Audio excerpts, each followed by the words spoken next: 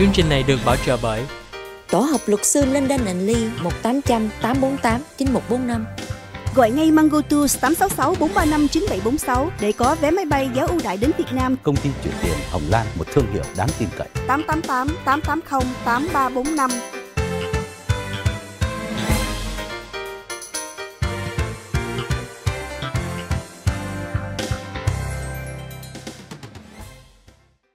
Lê Thái Ngọc Lan xin gửi lời chào thân ái đến tất cả quý khán giả đang xem chương trình Cà phê sáng của Leader Sài Gòn TV. Xin chào Lê Thái. Dạ vâng, Lê Thái xin gửi lời chào đến quý vị khán giả đang theo dõi chương trình. À, em gửi lời chào chị Lan. Hôm nay đã là ngày thứ sáu rồi. À, sau ngày làm việc ngày hôm nay là mình thấy mình được à, hai ngày thảnh thơi. Không Dạ biết vâng. là Lê Thái có chuẩn bị gì cho hai ngày cuối tuần không? em thì vòng vòng à, dẫn mấy đứa nhỏ xuống ngoài chơi thôi, hoặc là ở nhà chơi với lại à, ông bà nội. Thì đó là trong những cái à, hoạt động thường lệ của Lê Thái, hàng tuần luôn, ít đi chơi lắm chị Lan. Dạ. Ít đi chơi lắm. Dạ.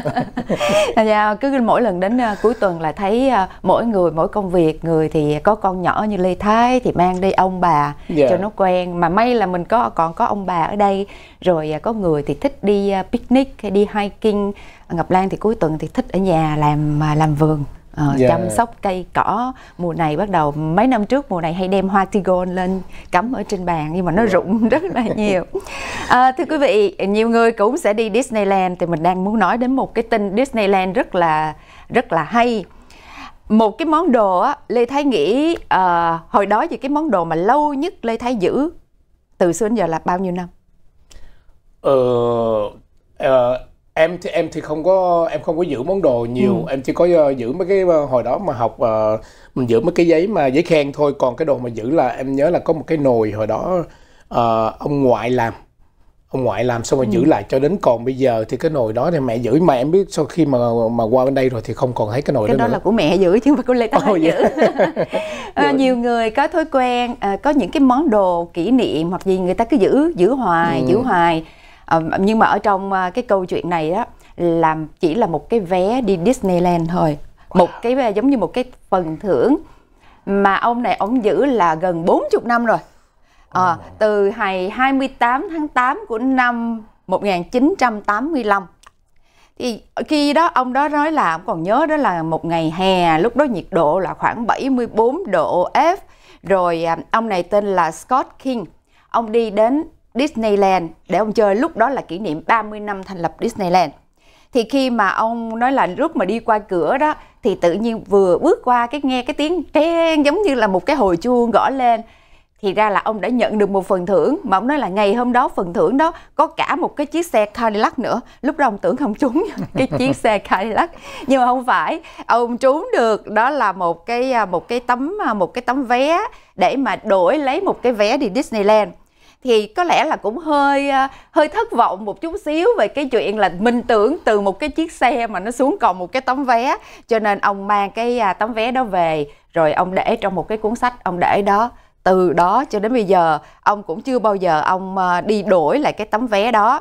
Cho đến à, năm nay cô con gái của ông nó tốt nghiệp lớp 12 wow. Ờ, nó vừa mới tốt nghiệp lớp 12 xong cái ông nghĩ wow biết đâu là cho nó cái món quà này mà không phải là cho, giống như ông đưa, ông nói là thử đi đến đó đổi coi còn có cái giá trị để đổi được hay không.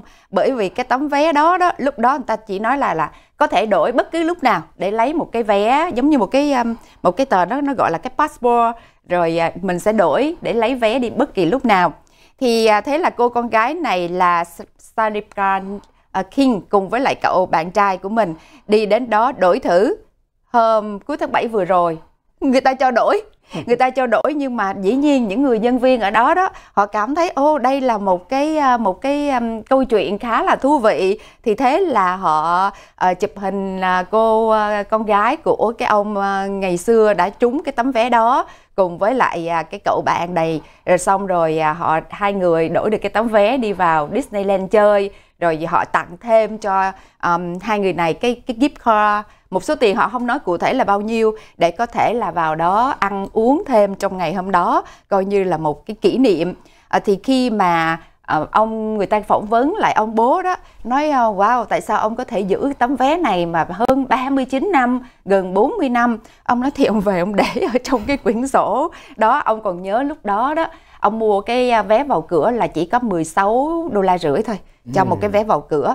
Tưởng tượng 16 đô la rưỡi mà cách đây gần 40 năm. Còn bây giờ một cái vé vào cửa cái đợt cuối tuần như thế này là cũng phải hơn trên 200 đô la cho một vé. Tức là cái vé này nó đã hơn gấp ờ, uh, 15 lần hơn so với cái thời điểm đó.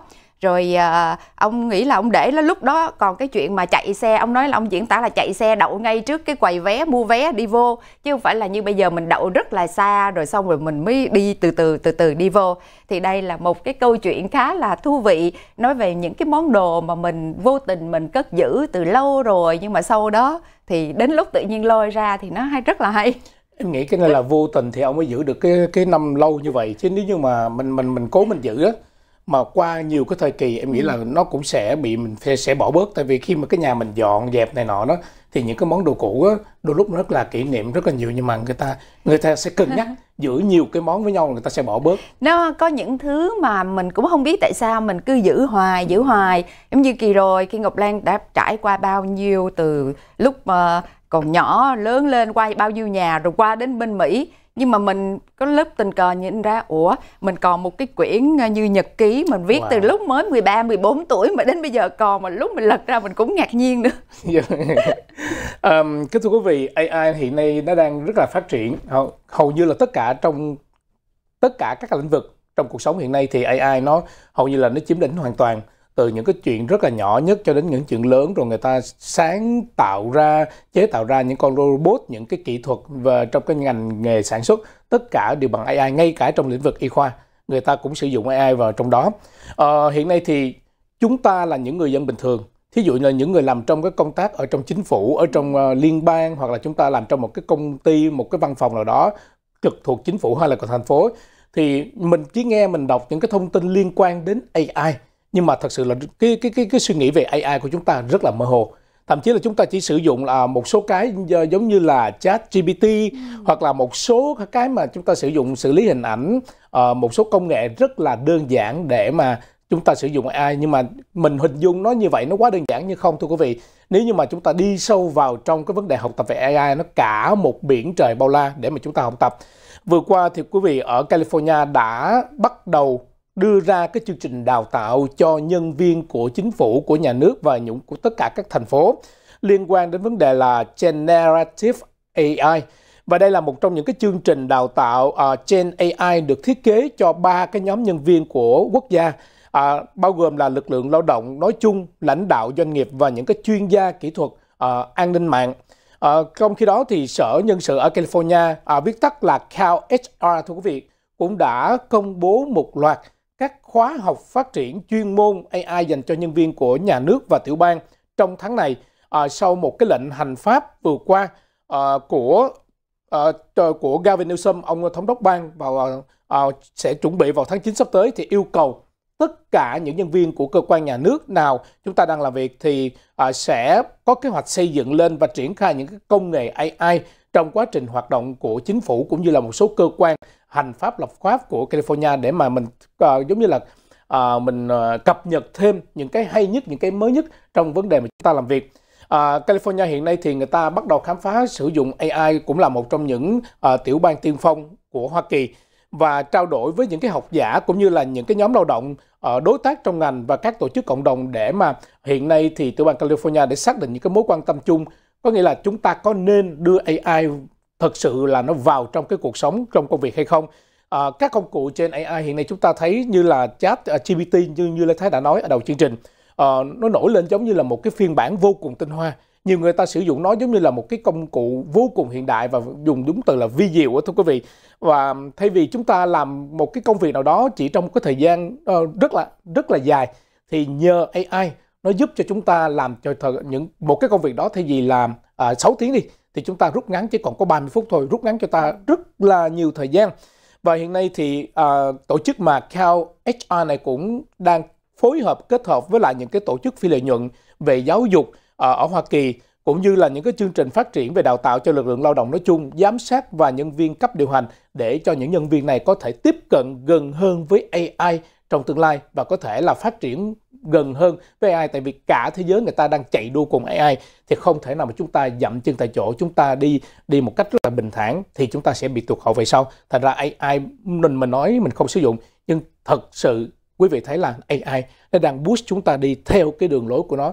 Nhưng mà về sau những cái tiêu cực hay là những cái tích cực như thế nào thì chúng ta chưa biết, thì chúng ta phải đợi, đúng không chị Lan? Đúng rồi, thì cái gì nó cũng à, nó là công nghệ.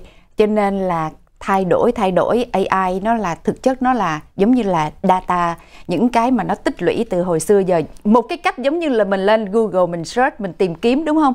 Nó ra một cái thông tin này thì AI nó là một cái tập hợp của tất cả những cái đó mà nó cái cái à, cái tìm kiếm của nó nó lẹ hơn rất là nhiều. Cho nên uh, bây giờ nhớ những cái ngành học mới nó phát triển đó. Nhưng mà xin mời quý vị cùng trở lại với chúng tôi sau phần thông tin thương mại.